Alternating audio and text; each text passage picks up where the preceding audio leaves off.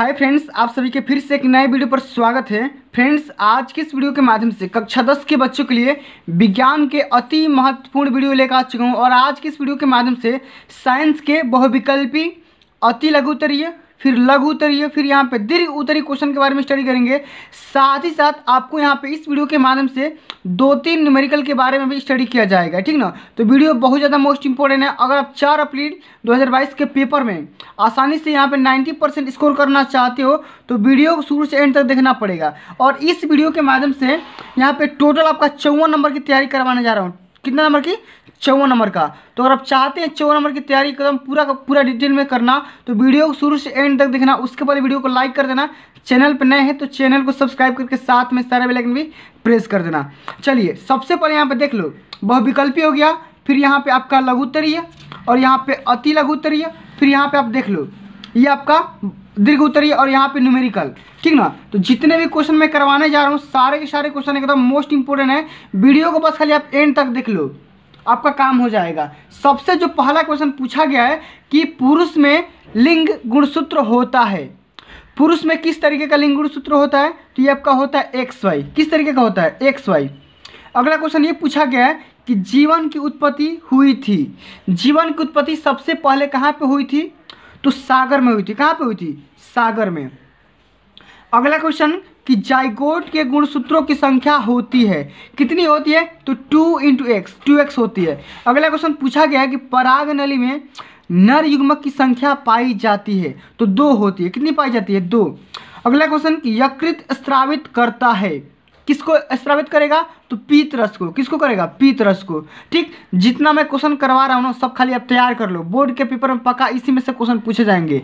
ठीक ना? और अगला क्वेश्चन जो पूछा गया है कि विटामिन सी का अच्छा स्रोत क्या होता है? विटामिन सी किसमें पाया जाता है? खट्टे पदार्थों में पाया जाता है। जैसे आपका संतरा हो गया, नींबू हो गया, ऐसे पदार्थों में आपका विटामिन सी पाया जाता है। अब यहाँ पर हम चलेंगे अति लघु उत्तरीय या लघु उत्तरीय क्वेश्चंस के बारे में, जो कि बोर्ड के पेपर में हर साल और हर बार पूछे जाते हैं।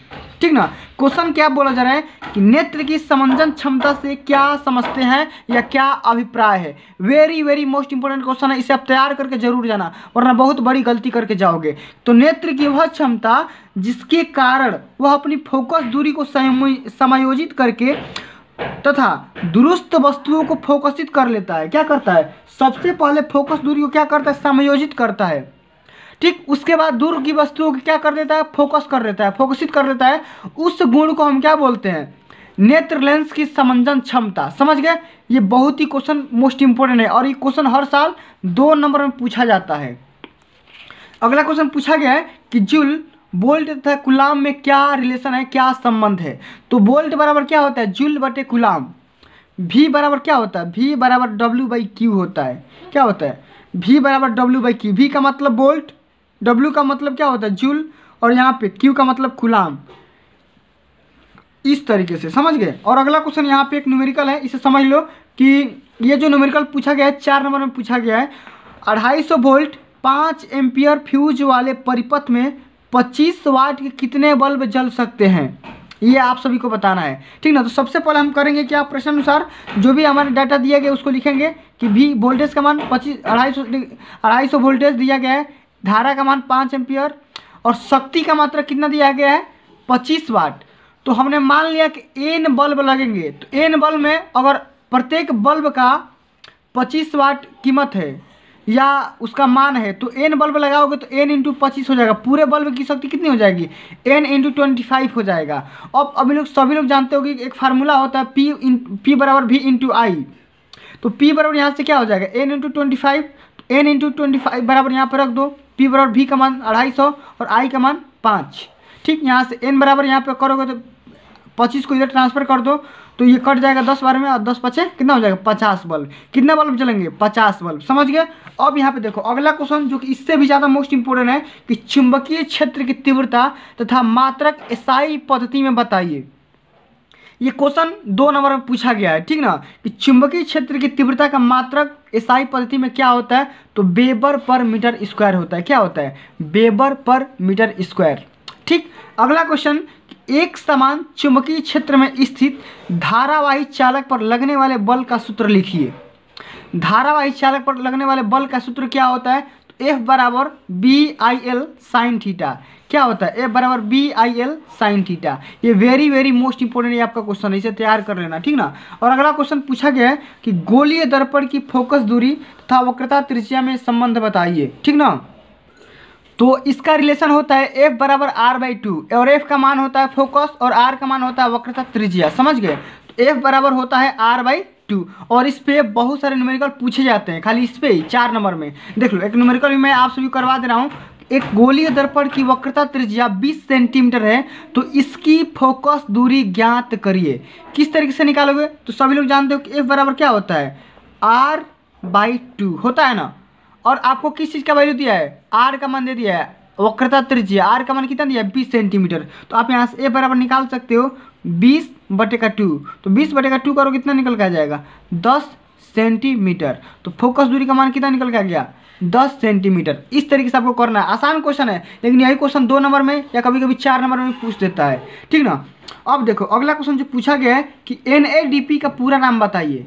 एनएडीपी का एनएडीपी का पूरा नाम, फुल फॉर्म, पूछता है कभी कभी तो निकोटी, नाइमाइड, एडिनॉन, डाई, न्यूक्लियोटाइड, ठीक ना? इसका फास्फेट इसका पूरा नाम होता है। और एक और मोस्ट इंपॉर्टेंट आपका फुल फॉर्म होता है एटीपी का कभी कभी फुल फॉर्म पूछता है कि एटीपी का पूरा नाम बताइए। तो एडिनोसिन ट्राईफास्फेट क्या होता है? एडिनोसिन ट्राईफास्फेट समझ गए? अब यहाँ पे देखो, अगला क्वेश्चन कि मेंडलिफ का आवर्त नियम क्या होता है? व्याख्या करिए। कई बार पूछा गया है, मेंडलिफ का आवर्त नियम या दीर्घाकार आवर्त सारणी के बारे में, वो तो सात नंबर में क्वेश्चन पूछेगा। तो मेंडलिफ का आवर्त नियम ये बोलता है कि इस नियम के अनुसार तत्वों के भौतिक और रासायनिक गुण, उनके परमाणु भार के आवर्ती फलन होते हैं। किसके फलन होते हैं? तो परमाणु भार के होते हैं। समझ गए? और देखो, और यहाँ पे जो दीर्घ क्वेश्चन आते हैं, सबसे लॉन्ग क्वेश्चन तो ये पूछा जाता है कि दूरदृष्टि दोष क्या होते हैं? इसका, इसके दो, इस दोष से पीड़ित व्यक्ति को लिए किस लेंस का किया जाता है? किरण आरेख द्वारा समझाइए। और इसका निवारण आप किस तरीके से करोगे? क्वेश्चन इस तरीके से पूछता है। तो यहाँ पे देखो दूर दृष्टि दोष इस दोष से पीड़ित व्यक्ति को दूर की वस्तु स्पष्ट दिखाई देती है, परंतु पास की नहीं दिखाई देती है। ऐसे दोष को हम क्या बोलते हैं? दूर दृष्टि दोष दूर दृष्टि दोष मतलब कि दूर का दिखाई देगा, लेकिन नज़दीक का दिखाई नहीं देगा। इसका रीजन यही होता है कि नेत्र लेंस की वक्रता कम हो जाती है। देखो, वक्रता क्या हो जाएगी? यहाँ पे कम हो जाएगी और वक्रता कम हो जाएगी तो फोकस रेटिना से बाहर बनने लगेगा। रेटिना पे बनेगा ही नहीं। अर्थात इसकी फोकस दूरी बढ़ जाएगी। देखो फोकस यहाँ पे बनना था बढ़ के आ, आ गया यहाँ पे। ठीक या इसका एक और रीजन हो, जा, हो जाता है कि नेत्र लेंस तथा रेटिना के बीच की दूरी कम हो जाती है। नेत्र लेंस और रेटिना के बीच की दूरी क्या हो जाएगी? कम हो जाएगी ठीक ना? अर्थात नेत्र के गोलक का गोलक का व्यास क्या हो जाएगा? कम हो जाएगा। देखो यहाँ पे कम हो गया है। लेकिन अगर इस दोष से पीड़ित के लिए क्या करते हैं? किस लेंस का यूज़ करेंगे? तो दूर दृष्टि दोष के व्यक्ति के लिए हम उत्तर लेंस लगा देंगे। देखो यहाँ पे एक उत्तर लेंस लगाया गया है और ये उत्तर लेंस करेगा क्या? इसको फोकसवा को क्या करेगा? इधर समायोजित कर देगा। नज़दीक कर देगा। तो नज़दीक करेगा तो रेटिना में बन जाएगा और यहाँ से आदमी आसानी से देख सकता है, ठीक? चलिए, अब यहाँ पे एक और इम्पोर्टेंट क्वेश्चन ये भी सात नंबर क्वेश्चन पूछा जाता है। निकट दृष्टि दोष क्या होता है? कारण और निवारण लिखिए और फिगर भी बनाइए। तो इस दोष से पीड़ित व्यक्ति को पास की वस्तु स्पष्ट दिखाई देती है, परंतु दूर की नहीं दिखाई देती है। निकट दृष्टि दोष कहलाता है। समझ गए? इसका रीजन क्या होता है? तो नेत्र लेंस की वक्रता त्रिज्या का बढ़ जाना, वक्रता का बढ़ जाना, इसका बढ़ जाएगा। उसमें क्या हो रहा था? घट जाएगा, लेकिन इसमें क्या हो रहा था? बढ़ जाएगा। और उसकी फोकस दूरी कम हो जाना। देखो फोकस यहाँ पे, यहाँ बनना था, लेकिन पहले ही बन गया। यहाँ पे बन गया, देख लो। यहाँ पे बनना था, लेकिन यहाँ पे बन गया। या नेत्र की गोलक का व्यास बढ़ जाना। क्या हो गया? व्यास का बढ़ जाना। यहाँ पे फोकस बनना था, लेकिन ये बाहर बन रहा है। तो इसके लिए क्या करोगे? अवतल लेंस का उपयोग करोगे। और अवतल लेंस क्या करेगा? फोकस को समायोजित करके सीधे रेटिना पे बनाएगा। अब चलिए, हम न्यूमेरिकल को सॉल्व कर लेते हैं। जो ये न्यूमेरिकल देख रहे हैं, आपके स्क्रीन पे एकदम ये न्यूमेरिकल सात नंबर में पूछे जा, पूछे गए हैं, कई बार। तो इन दोनों न्यूमेरिकल को आपको अच्छे से तैयार करके जाना है, ठीक ना? और बोर्ड के पेपर में नाइन्टी परसेंट पार करना चाहते हैं तो वीडियो को इस लाइक कर दो और चैनल को सब्सक्राइब ज़रूर कर देना, ठीक ना? चलिए क्वेश्चन क्या बोल रहा है कि नीचे दिए गए चित्र में, दिए गए परिपथ में ए तथा बी के बीच बिंदु बी के बीच परिणामी प्रतिरोध का मान ज्ञात करो। एक ये परिपथ दिया गया और इस परिपथ में करना क्या है? तुल्य प्रतिरोध का मान निकालना है। ठीक ना? तो सबसे पहले हम करेंगे क्या? ये जो आपका सीरीज़ में प्रतिरोध दिया गया है, इसका एक मान निकालेंगे। इस तुल, इसका तुल्य प्रतिरोध निकालेंगे पहले। तो देखो, दो ओम, तीन ओम और चार ओम। इसका क्या करेंगे?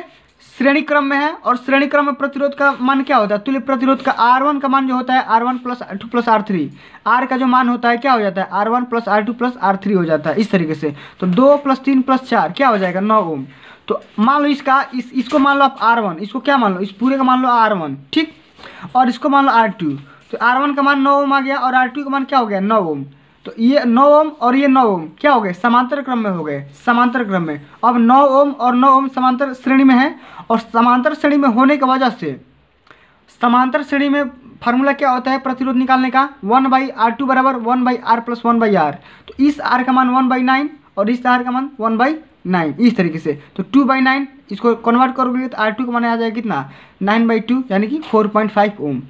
तो इस तरीके से आपको तुल्य प्रतिरोध निकालना देखो, क्वेश्चन बहुत ही आसान होता है, लेकिन बच्चे करते नहीं है, इसलिए दिक्कत हो जाता है वहाँ पे, ठीक ना? तो समझना है पहले, उसके बाद हल करना है।